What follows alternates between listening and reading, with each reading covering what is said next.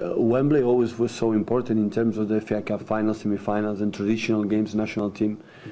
I think it's beautiful. It has a place to, to play in that way. In Spain, for example, we don't have that. We always we have problems to decide in the FA, the Copa, Copa del Rey, the FA Cup, where, where plays, and the national teams always play one day in different places. So it's nice. So all the old Wembley and the in the new Wembley are fantastic stadiums. So I think it's it's it's good. I think I don't know what's happening in the future about the owners, but I think always Wembley will remain something special for the English football.